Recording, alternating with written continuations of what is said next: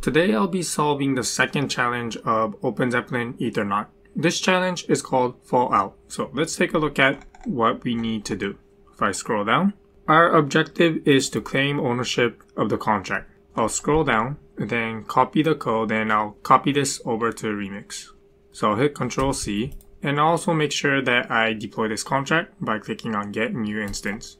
Confirm the transaction and while we wait for the contract to deploy, I'll go ahead and paste this code into Remix. I pasted the code inside Remix, and as a reminder, this challenge, we need to claim ownership of the contract below. Now notice that this contract is using Solidity 0.6. If you're familiar with Solidity 0.8, you would know that for a constructor, you would declare it as constructor.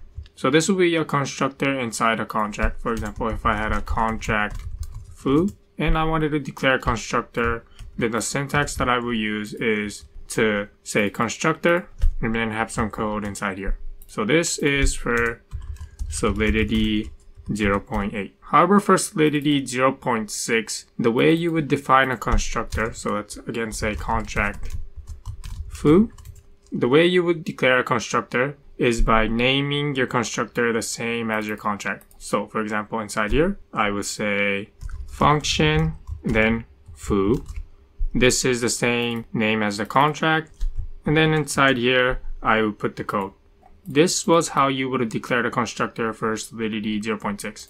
So with that in mind, let's take a look at the code. If I scroll down, again, our objective was to claim ownership of this contract. I see a constructor here, and how is this owner variable set? If I click on it, I see that it is set inside the constructor as the deployer. Is there anywhere else inside this code where we can overwrite the owner state variable? Scrolling down, I don't see anywhere else that we can set the owner state variable.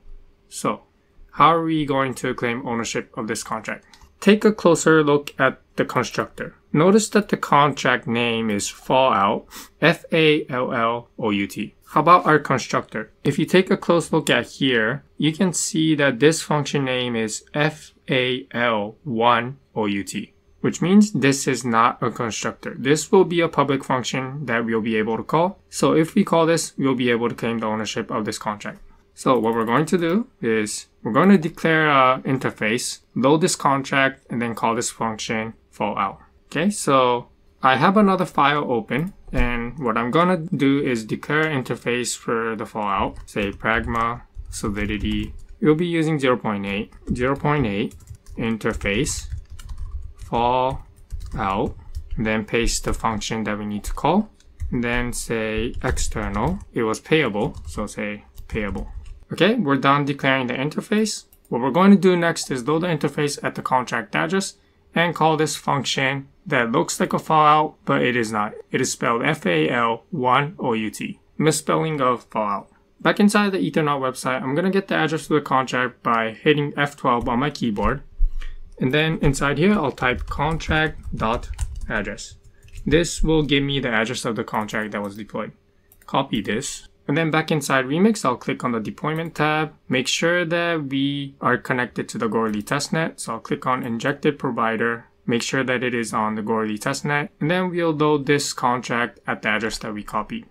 So paste it here, scroll down, and then we'll call the function fallout. Okay, our transaction was successful. Let's now check that the owner of the fallout contract is our account.